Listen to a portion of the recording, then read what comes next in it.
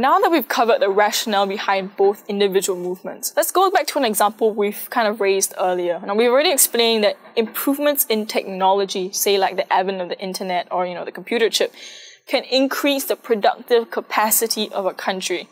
But now that we think about it, the increases in worker productivity that automated process ge- processes generate also mean that the cost of producing a single unit of goods and services falls. So instead of one factory worker being able to produce 10 boxes an hour with eight machines, he can now process 100.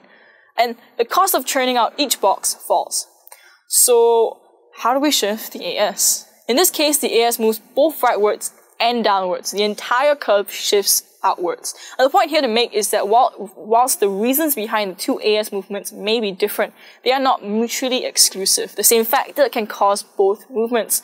Hence, rather than trying to categorize every factor under the sun into things that shift the AS leftwards or rightwards and things that shift the AS upwards or downwards, we simply should need to shift the curve accordingly.